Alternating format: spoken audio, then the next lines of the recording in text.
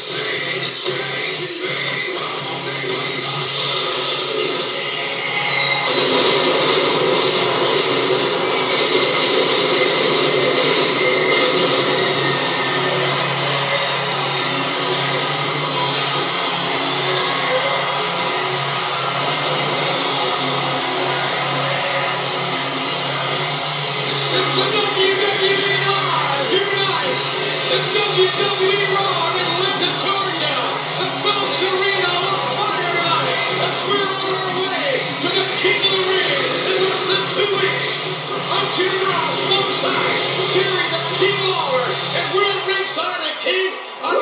This is going to be?